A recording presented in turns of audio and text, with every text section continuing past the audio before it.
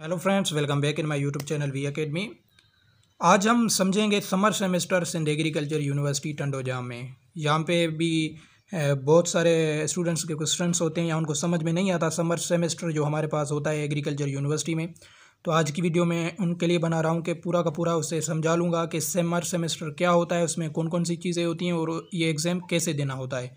तो चलें स्टार्ट करते हैं। सबसे पहले समर सेमेस्टर उन स्टूडेंट्स का होता है जो ट्रम बैग होते हैं या जो सेमेस्टर बैग होते हैं, जिससे मैं ऐसा कहूँ कि फॉर सपोज़ अगर चौदह सब्जेक्ट हैं, चौदह चौदह में से आठ सप्लियाँ लगेंगी तो वो समर सेमेस्टर में काउंट होता है। मतलब वो समर सेमेस्टर में आ जाता है और उनका एक अलग पेपर होता है साल के बाद तो उन्हें उसमें अपियर होना होता है और उसमें कौन कौन सी चीज़ें होती हैं वो याद रखनी है। बस समर सेमेस्टर का बारे में ये याद रखना है कि जितने भी आप सब्जेक्ट्स पढ़ रहे हैं एग्रीकल्चर यूनिवर्सिटी टंडोजा में, किसी भी फैकल्टी में तो उनमें से आधे से ज़्यादा मतलब अगर चौदह पढ़ रहे हैं तो चौदह का आधा सात होगा। सात में से आठ आपको सप्ली हैं चौदह में से तो आपको समर सेमेस्टर लग जाएगा। ये समर सेमेस्टर की एक पॉइंट है कि आपको समर आप किसमें आएँगे? नहीं तो फिर आप लेस जीपी में होंगे प्रोबेशन में होंगे, या पास में हो सकते हैं, या फेल में हो सकते हैं। समर आप तब समर में आप तब आएँगे जब आपको आधे से एक सप्ली ज़्यादा होगी तो आप समर में काउंट हो जाएँगे और और उसकी क्या क्या है, वो मैंने यहाँ पे की पॉइंट्स लिखे हैं। सबसे पहले if students fail in semester semester में वो फेल हो गया। फेल का मकसद ये नहीं कि उसे एक सप्ली है, वो भी समर में नहीं। फेल का मकसद ये है कि उसे सात से आधे से एक सप्ली ज़्यादा है तो वो समर में काउंट हो चुका है, वो समर दे सकता है। काफ़ी लड़के समर इम्प्रूव के लिए भी देते हैं, उनके लिए भी ये वीडियो है। इम्प्रूव के लिए भी उन्हें क्या क्या कौन कौन सी चीज़ें आती हैं समर में, वो भी देखें। ये कौन सा होता है? ये स्पेशल एक एग्ज़ाम होता है। ये स्पेशल एग्ज़ाम होता है और ये साल में एक दफ़ा होता है। ये स्पेशल एग्ज़ाम कब होता है? जब हमारे रेगुलर ख़त्म हो जाते हैं, फिर इसकी एडमिशन होती है, उसकी हमें अलग एडमिशन लेनी होगी। एडमिशन लेने के बाद उसका फॉर्म वगैरह हमने फिल कर दिया। फिर इसकी स्लिप्स आती हैं और एग्ज़ाम की मतलब टाइम टेबल शेड्यूल आता है।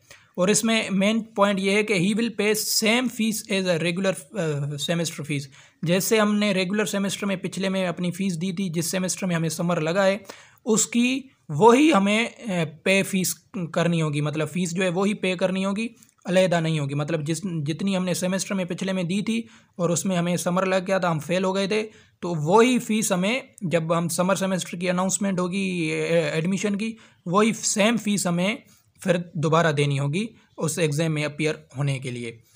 और तीसरी पॉइंट इसमें यह क्या है कि इसमें टोटल ट्वेल्व क्रेडिट अवर्स होते हैं समर सेमेस्टर में, ये याद रखें ऐसा नहीं कि हमें दस सप्लियाँ हैं तो हमने दस सप्लियाँ ही वहाँ पे रख दी तो ये हमारा रिज़ल्ट जो है आएगा ही नहीं, ये हमने, हमारी जो फ़ीस थी वो हमारी पानी में चली गई। ये याद रखना है, ये हमें यूनिवर्सिटी वाले एडमिनिस्ट्रेशन वाले भी नहीं बताते, नहीं ऐसी अनाउंसमेंट करते, नहीं हमारे बच्चों को ऐसा पता चलता है। तो ये याद रखना है कि पूरे के पूरे सब्जेक्ट नहीं लिखने हमें, जितनी भी हमें सप्लियाँ हैं वो वहाँ पे हम हमें जो फॉर्म भरेंगे उसमें टोटल नहीं लगाने। ये याद रखना है कि टोटल ट्वेल्व क्रेडिट आवर्स हमें लग, लगाने हैं।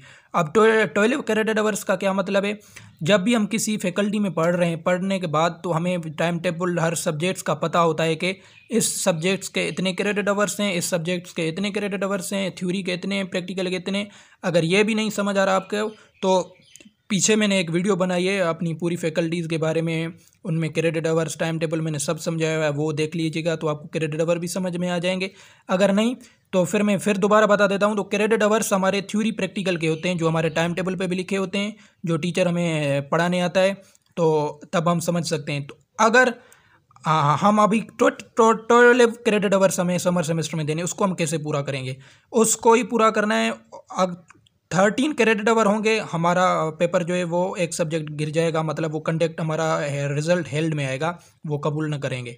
तो कैसे? फार सपोज़ अगर हमें सप्लियाँ हैं total for suppose total supply हैं, हमने उन सब का क्रेडिट अवर्स काउंट करेंगे टाइम टेबल पे तो उनके फार सपोज़ सत्रह बन रहे हैं। सत्रह बन रहे हैं क्रेडिट अवर्स हमें सप्लियाँ भी हैं, उससे ज़्यादा हैं मतलब समर में तो हैं ही हैं हम, और सप्लियाँ भी ज़्यादा हैं और उसके क्रेडिट टोटल सत्रह हो रहे हैं। एग्ज़ाम्पल के लिए मैंने कह रहा कह रहा हूँ तो हमें कवर करके टोटल ट्वेल्व क्रेडिट आवर्स वहाँ पे एग्ज़ाम में अपियर करने के लिए पेपर्स के नाम लिखने हैं जिनके फार सपोज़ अगर मैं वेटनरी की बात करूँ फार्मा के थ्योरी के तीन हैं फार्मा के थ्योरी के तीन हैं और एक प्रैक्टिकल का है। मुझे थ्योरी में सप्ली है प्रैक्टिकल में सप्ली है तो चार इन दोनों एक सब्जेक्ट के हो गए अभी, देखो यहाँ पे।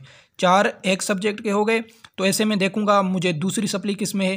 तो उसकी मैं देखूँगा कि उसके क्रेडिट आवर कितने, उसके भी मैं काउंट करूँगा। ऐसे काउंट करके मुझे टोटल बारह पूरे करने हैं। बारह से एक भी ज़्यादा होगा तो हमारा रिज़ल्ट नहीं आएगा। टोटल बारह पूरे करने फिर अगर हमारी सप्लियाँ रहती हैं तो हम ऐसे कवर करेंगे जैसे हम समर से निकल जाएँ, फिर वो हम सप्ली में बाद में दे देंगे। तो समर से निकलने के लिए टोटल हमें क्रेडिट अवर ट्वेल्व भी पूरे करने और ज़्यादा एक भी नहीं देना। और समर का हमें पता है कि समर हमें तब लगेगा जब हाफ़ से हमें एक सप्ली ज़्यादा लगेगी तो हम कंसिडर्ड होंगे समर सेमेस्टर में। तो ये था ओवरव्यू थोड़ा बहुत समर सेमेस्टर का। तो इंशाल्लाह वीडियो आपको पसंद आई हो, पसंद आई हो तो लाइक और सब्सक्राइब कर देना। Thank you so much